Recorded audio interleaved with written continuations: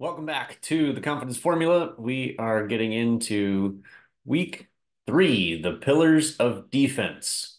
Uh, and I matched this up exactly because I like threes, and matching week three with the three pillars just made me happy. And the three pillars are containing every drive, contesting every shot, and then rebounding every miss.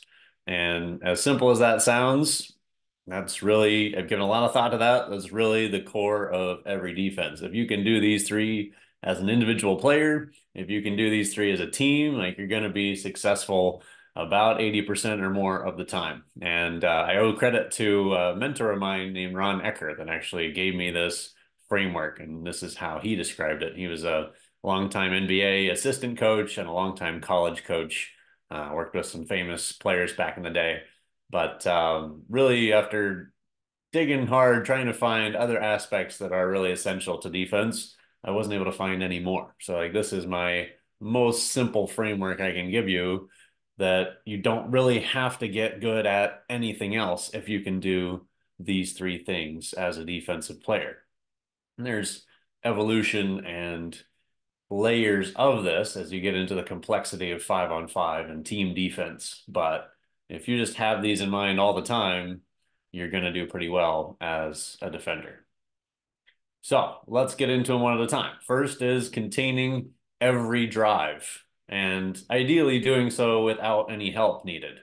And that's a, uh, a big weakness that I see a lot of players, especially as you get into seventh, eighth grade and freshman year of high school. A lot of us have played mostly zone defense, maybe with our rec team or even our AAU team and now our freshman high school coach is like, we are playing hard nosed man to man defense, and you're in for a rude awakening if you haven't had that approach or haven't had any framework of like how to work on defense outside of your coach drilling you with doing defensive slide drills, you know, when you're on the court in practice.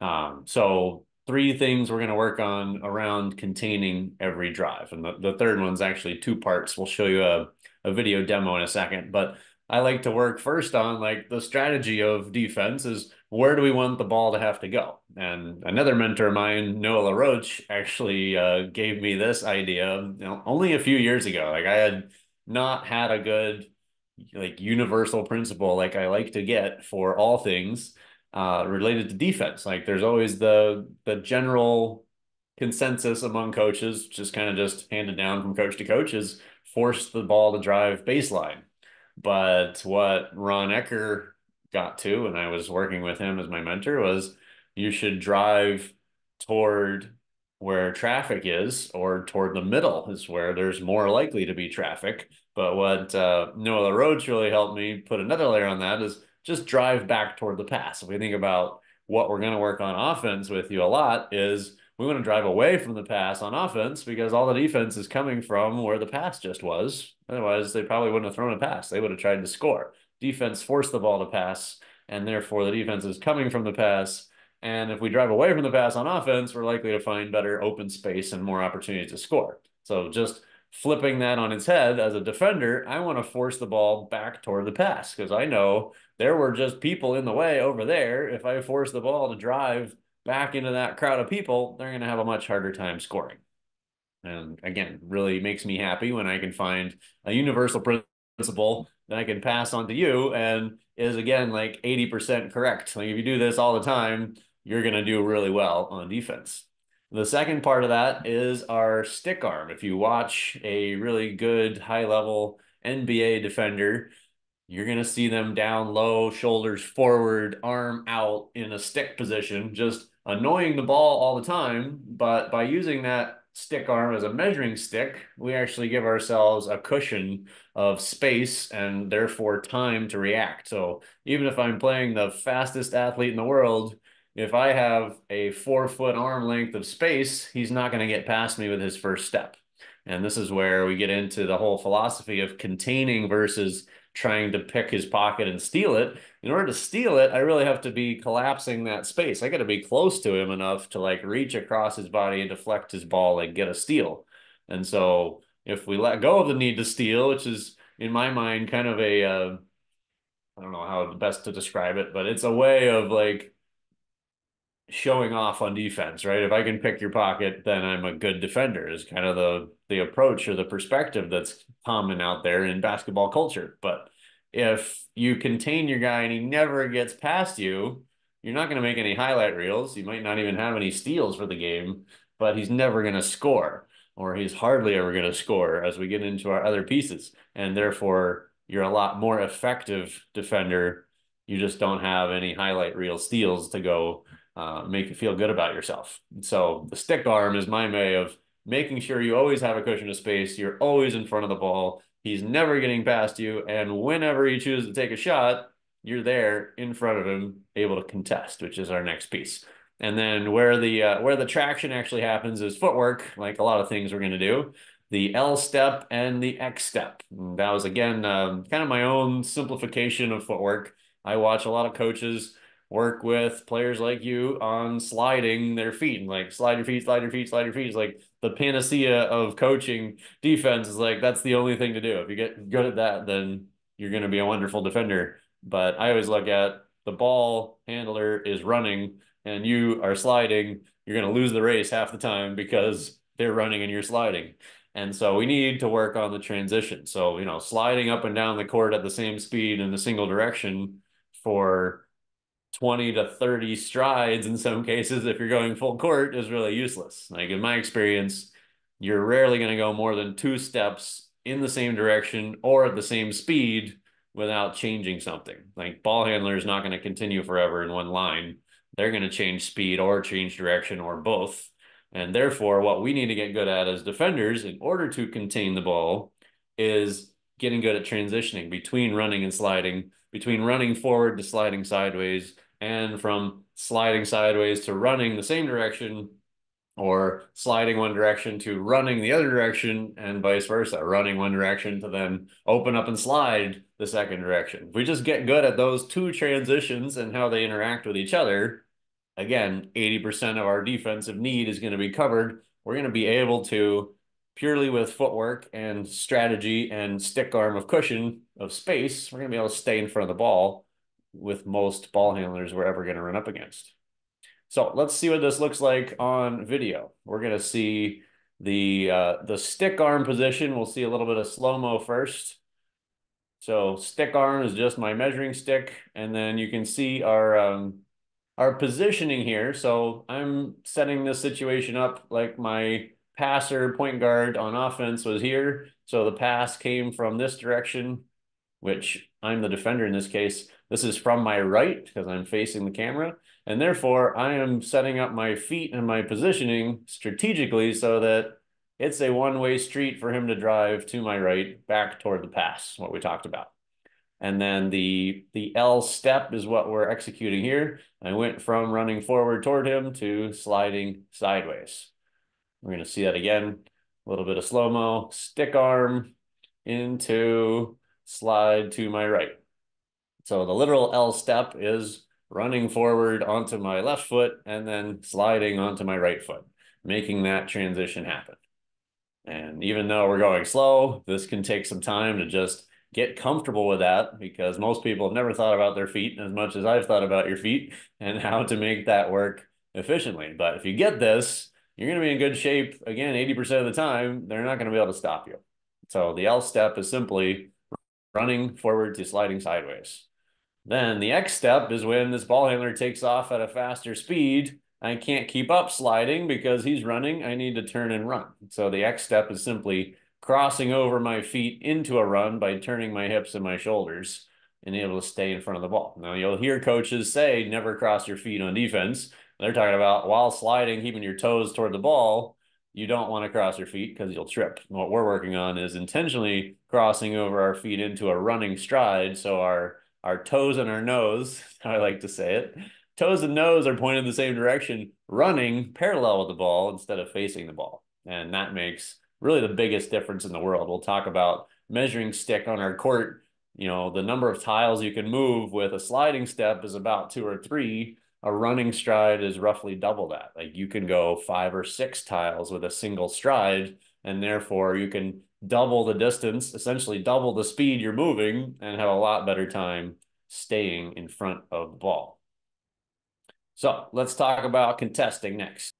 Contesting every shot is the ideal goal. And so the first thing we're going to talk about is contesting the line of sight. Contesting the shooter's vision is far easier and far more effective than always trying to contest the ball and try to block the shot. Like you can put yourself in a lot of dangerous positions, a lot of risky positions by always trying to block a shot you're going to be more likely to foul. You're going to be more likely to fly by the shooter and be out of position or just be in the air when they actually attack if they give you a really good shot fake. And so I call it the laser versus the rainbow.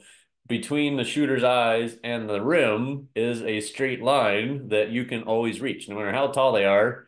Even if I'm seven foot five Wembanyama guy, you can jump and reach seven foot five with your hand there, and you're going to have your hand between his eyes and the rim and he's going to miss more shots with just that happening compared to the rainbow of a shot reaches about 14 or 15 feet most of the time, you know, four or five feet above the rim in order to drop on the basket. So, like, reaching that rainbow height to try to contest the ball is a lot more difficult and actually not as effective as just contesting the shooter's line of vision or line of sight.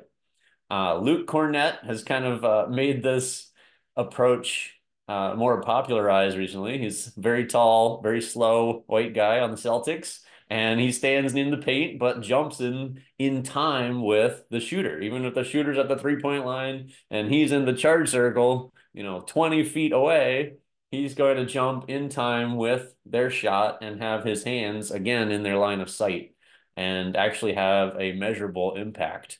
And if you're the on ball defender instead of that Luke Kornet rim defender, you're going to have even a bigger effect. Like I call it within six feet of the shooter. If you're going up the same time as they are, they can't tell depth perception wise that you're not actually trying to go block them. They see you go up at the same time they're going up, and you're in their way, in their line of sight as they shoot. What we see is that shooting percentage drops by half. We're going to talk about this later on into week 9, 10, 11 about uh, all the different pieces of basketball math, I call it, how to calculate that field goal percentage, both as an offensive player and as a defender. How can you make an impact on that? And roughly what we see across all levels is we have pretty equal level up of ability on offense and ability on defense, whether it's high school or college or NBA. Like defenders get better as offensive players get better. And it's roughly 50% drop. If you're uncontested in the NBA, you're likely making 70%. Even at three point range, you're going to make 70 out of every 100 shots. But if you're contested, it drops to 35 or 40, which is where most players average in the NBA because, again, there's good defenders. Most of those are contested shots. And so simply putting your hand in the shooter's eyes, line of sight every time they take a shot can dramatically drop how effective their field goal percentage is and therefore create more misses. And it also, by focusing on timing rather than proximity, right? Rather than trying to get really close to block the ball, we're focused on timing with the jump of the shooter, no matter how far away we still are we defeat their ability to shot fake us, right? Where if we were trying to go block them and they shot fake us, like we're falling onto them, fouling them, or flying by and out of position. With this approach, we're going up and back down in time with them. And likely we didn't try to get really close to them. So we still have our stick arm distance of space as a cushion. And now after their shot fake, they try to drive, suddenly we're still there. We didn't lose our advantage. We didn't lose our position. We were able to maintain the space, and now we're still there to annoy them, contain them, make them try again and shoot over us where they thought they were going to try to fake us out with a shot fake and get us out of position. Um, this is really, you know, back to the core of being a disciplined defender, just like we don't care about stealing the ball if we can contain it. We don't care about blocking the shot if we can contest it. And changing your mindset about that is one of the pieces I hope to convince you of and make you a more effective player. Maybe not as many highlight reels, but you're going to be a lockdown defender and it'll show up in a lot of other ways as you get good at that. Let's see example of what contesting looks like.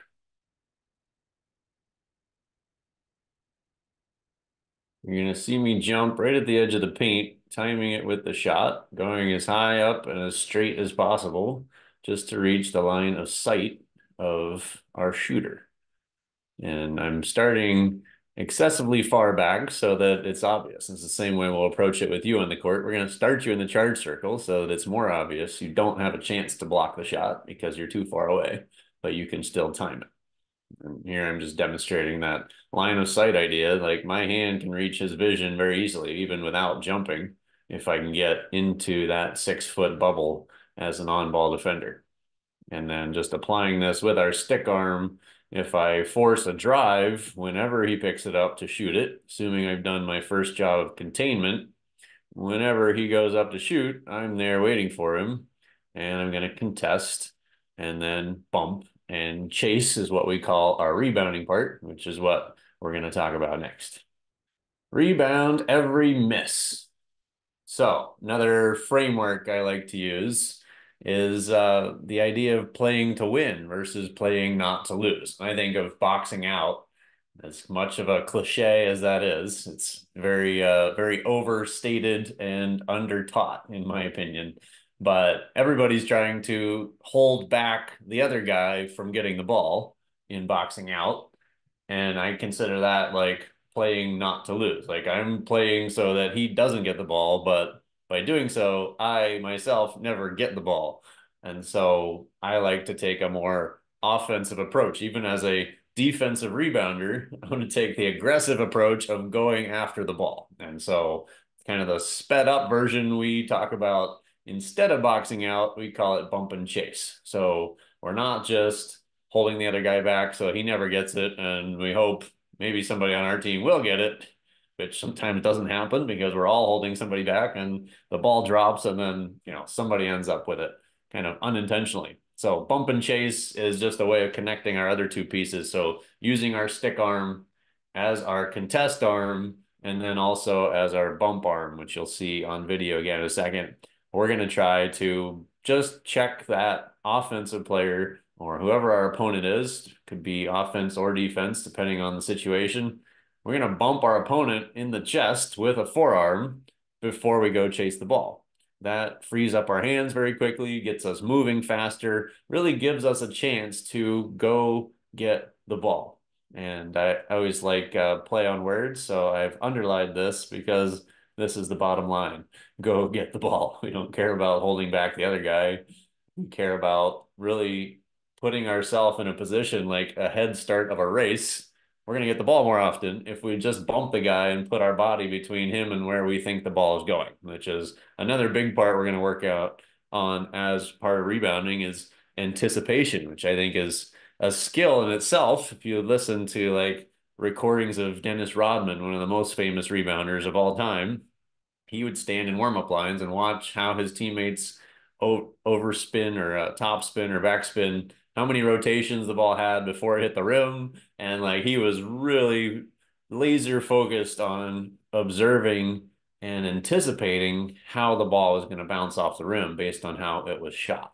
And I think that's where you can actually get the most leverage. Whether you're the shortest guy on the floor or the slowest guy on the floor, if you know where the ball's going better than anybody else, and you simply bump the other guy to stop his momentum and give yourself the position of a head start, then you're going to go get the ball a lot more. And that's what we're after. We don't care about what it looks like. We don't care about whether you did actually get your hips and butt into the other player to stop their momentum as a box out would be required of most coaches. We just want you to make contact and go get the ball first. And if you get the ball, then you did the job.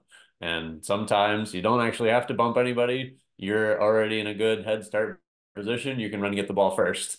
And that's the end goal that we're after. Boxing out is kind of misdirected in some ways. Like you're always trying to stop the other guy, and you could have just got the ball.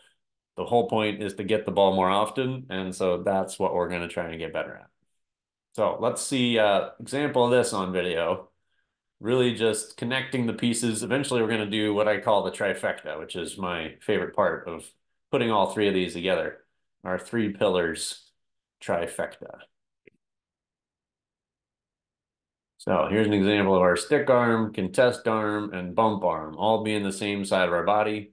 And if you notice, Which side that is, is what we'd call our outside. So away from the middle of the court, away from the basket is the hand we're going to contest and bump with so that we're turning toward the middle. The ball's going to land on the basket. It's going to bounce around the basket most of the time. Defenders to our right, we're contesting right arm, bumping right arm, and opening in front of him to the outside so that we see the middle first and we have a chance to go attack. And then the trifecta that I said I really liked what we're going to get to is playing one on one with this and only give you a point on defense if you contain the ball so he doesn't get to the paint or at least to a deep paint layup. You contest whatever shot he does take, and then you bump him and end up with the rebound. If you execute all three of those, you have completed one trifecta. And our goal is to get three of those in uh, one game of one on one in order to be the winner of that round. And really uh, takes a lot of discipline, takes some practice. You'll get like one out of three, and then two out of three, and sometimes zero out of three. And then once in a while, it'll start to click, and you'll get all three done. And if you take that and nothing else from this whole course, you're going to be a lot better defender by executing the three pillars of defense and being able to do the trifecta every time you're guarding the ball. So, quick summary. No steal necessary. We want to contain the ball. We don't need to get a highlight reel by getting a steal. And we're going to use our stick arm and our strategic position to force the ball back toward the pass and our L step and our X step footwork to get really good at containing the ball. Second, we're going to contest their line of sight. We don't care about blocking the shot. If we can contest it and make them miss twice as many shots as they normally would, we're going to be in good shape. Assuming we've done both of those, they're going to miss a lot of shots in a game. So we need to go get the ball, bump and chase them by having a good position and treating it like the head start of a track race. We're going to go after the ball first and end up getting the ball in our hands a lot more often, which is going to lead to a lot more fun, fast paced offense opportunities after playing good defense. That's it for week three. I'll see you on the court soon.